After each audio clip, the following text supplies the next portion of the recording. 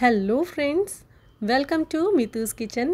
तो आज मैं लाई हूँ आपके लिए ये छोले की सब्ज़ी बनाने का बिल्कुल नया तरीका। जी हाँ ये तरीका ना आपने पहले कभी सुना होगा, ना देखा होगा। आज की इस सब्ज़ी को बनाने के लिए ना ही हम यहाँ प्याज, ना लहसुन, ना फिर टमाटर या फिर कुछ भी ऐसा यूज़ नहीं करेंगे। सिंपल मसालों से बिल्कुल चटाकेदार, बहुत टेस्टी, बिल्कुल ढाबे स्टाइल सब्ज़ी बना देंगे। और ये देखिए, ये सब्ज़ी इस तरीके से बनकर तैयार होगी। तो अगर आप ये वीडियो पूरा देखेंगे ना तो आपको पता चल जाएगा कि एक भी टमाटर मैंने इसमें नहीं डाला, ना ही इसकी ग्रेवी बनाने के लिए आलू आलू का इस्तेमाल किया। सिर्फ़ और सिर्फ़ आपको ये छोले ही चाहिए और इससे ये बहुत ही रेशेदार, बहुत ही टेस्टी, ज़बरदस्त सब्ज़ी बनकर तैयार होगी। तो अगर आप भी सीखना चाहते हैं बिना अदरक, बिना प्याज, बिना लहसुन के बिल्कुल होटल जैसी, ढाबे जैसी टेस्टी सब्ज़ी बनाना तो ज़रूर देखिएगा, लेकिन इसका टेस्ट ढाबे जैसा है, मगर बनाई हमने अलग तरीके से है। तो पूरी वीडियो ज़रूर देखिएगा, और अगर आप भी टमाटर के रेट सुनकर परेशान हो रहे हैं और उतना टमाटर यूज़ नहीं करना चाहते तो ये रेसिपी आपके लिए बहुत काम आने वाली है। तो अपने घर पर इस तरीके से ज़रूर ट्राई कीजिएगा। तो चलिए फटाफट शुरू करते हैं आज की आसान सी वीडियो तो यहाँ पर आज मैं दही का यूज़ करूँगी और ये देखिए मैंने आधा कटोरी दही लिया है और दही को अच्छे से फेंट लेना है पहले आपको। तो यहाँ मैंने चम्मच से इसे फेंट लिया। अब इसमें हम कुछ घर के आसान से मसाले डालेंगे। जैसे यहाँ आपको डालना है कश्मीरी लाल मिर्च पाउडर और यहाँ पर एक चम्मच धनिया पाउडर और यहाँ पर आधा चम्मच तीखा वाला लाल मिर्च पाउडर डाल दिया मैंने। फिर इसमें थोड़ा सा हल्दी पाउडर डाल देंगे।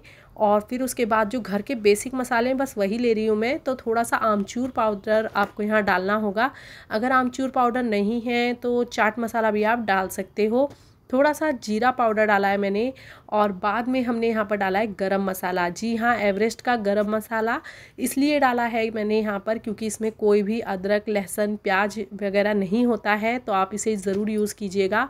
और अगर आप बाकी किसी ब्रांड का मसाला यूज़ करते हैं तो उसमें गार्लिक पाउडर और ओनियन पाउडर पड़ा रहता है तो यहाँ पर ये एवरेस्ट का मसाला आप यूज़ कर सकते हो। अगर आप बिल्कुल सावन स्पेशल इस रेसिपी को भी बनाना चाहते हो तो बस अच्छे से मैंने इसे डाल दिया आधा चम्मच भर के और फिर इसके बाद हम इसे मिला लेंगे।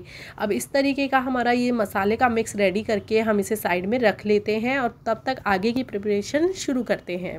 तो यहाँ मैंने 250 ग्राम छोले को पहले से ही उबाल के रखा है। छोले को पहले भिगो लेना है आपको और उसके बाद फिर इसको पानी डाल के और थोड़ा सा सोडा डाल के उबाल लेना है। और यहाँ पर मैंने जो हम चाय पत्ती का पानी इस्तेमाल करते हैं, उसका यूज़ नहीं किया है तो थोड़ा सा आपको यहाँ पर छोले के जो दाने हैं, उनको एक बाउल में अलग निकालना है और फिर मैशर से अच्छे से मैश कर लेना है।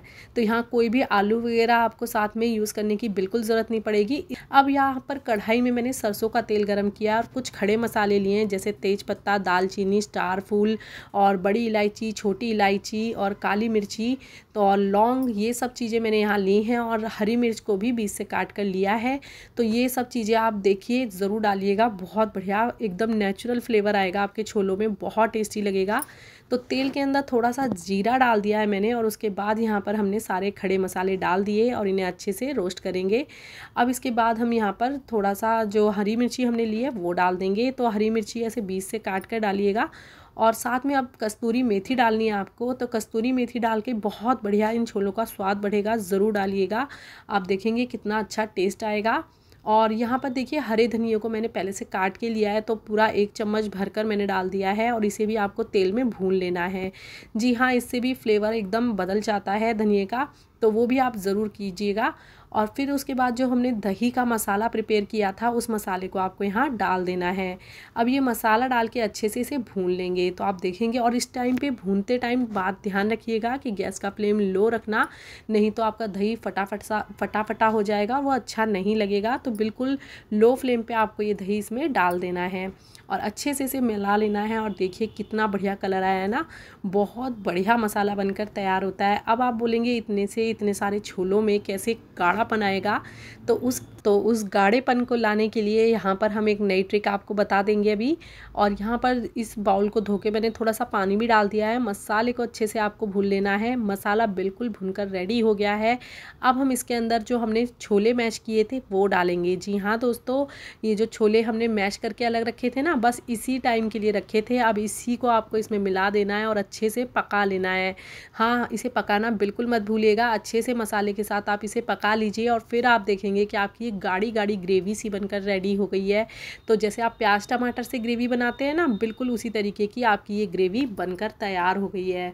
तो बहुत ही आसान सा तरीका है, कुछ झंझट नहीं है इसे बनाने में और ना ही आपको प्याज चाहिए, ना टमाटर लेकिन फिर भी आपकी रेस्टोरेंट स्टाइल ग्रेवी रेडी होगी और बहुत ही टेस्टी छोले बनकर तैयार होंगे। तो बस फटाफट से यहाँ पर मैंने इसको ऐसे मसाले के साथ भून लिया। अब इसके बाद आपको यहाँ छोले डालने हैं और इसी स्टेज पे आपको अपने टेस्ट के अकॉर्डिंग नमक भी ऐड कर लेना है। तो नमक मैं यहाँ पहले ही ऐड कर चुकी हूँ इसी स्टेज पे, लेकिन वीडियो शूट नहीं हो पाई तो आपको नहीं दिखा पाई मैं। और अब हम इसके अंदर डेढ़ कप जितना पानी ऐड करेंगे तो पानी डालकर आपको इसे ढककर अच्छे से पका लेना है। तो दस से पंद्रह मिनट आप इसे लो फ्लेम पर अच्छे से पका लीजिए और आपके बहुत ही टेस्टी, बिल्कुल मार्केट स्टाइल यानी आप रेस्टोरेंट पर जैसे छोले खाते हैं ना, बिल्कुल वैसे छोले बनकर तैयार हो जाएँगे। डेढ़ कप पानी डाल के मैं इसे पकने के लिए रख देती हूँ, फिर आपको दिखाती हूँ। तो लीजिए, पंद्रह मिनट हो गए हैं। चलिए फटाफट से ढक्कन हटाकर चेक कर लेते हैं। और ये देखिए, हमारे छोले बिल्कुल तैयार हैं। बहुत ही बढ़िया कलर आया है। और देखिए, साइड में तेल भी अलग हो गया है। यहाँ मैंने चाय पत्ती का पानी यूज़ इसलिए नहीं किया। बहुत से लोगों को एसिडिटी होती है इसके वजह से और कई लोगों को टेस्ट भी पसंद नहीं आता। तो अगर आपको काला वाला पानी पसंद है तो आप साथ में चने उबाल सकते हैं उस तरीके से। लेकिन यहाँ पर हम इसी तरीके से बना रहे हैं। तो बस झटपट हमारे छोले बिल्कुल तैयार हो गए हैं। इसे सर्व कर लेते हैं और बहुत ही बढ़िया, बिल्कुल रेस्टोरेंट स्टाइल छोला तैयार है। इसे आप नान के साथ, इसे आप भटूरों के साथ सर्व कीजिए, बहुत इन्जॉय कीजिए। और आप बिना टमाटर के अब इस तरीके से बिल्कुल रेस्टोरेंट की ग्रेवी वाली बहुत टेस्टी सब्ज़ी बना सकते हैं इस तरीके से। तो अगर आपको ये वीडियो थोड़ी भी हेल्पफुल लगी हो और अगर थोड़ी भी पसंद आई हो तो प्लीज़ वीडियो को लाइक, शेयर ज़रूर कीजिएगा और मेरे चैनल को सब्सक्राइब कीजिए। मुझे इंस्टाग्राम और फेसबुक पे फॉलो करना बिल्कुल मत भूलिए।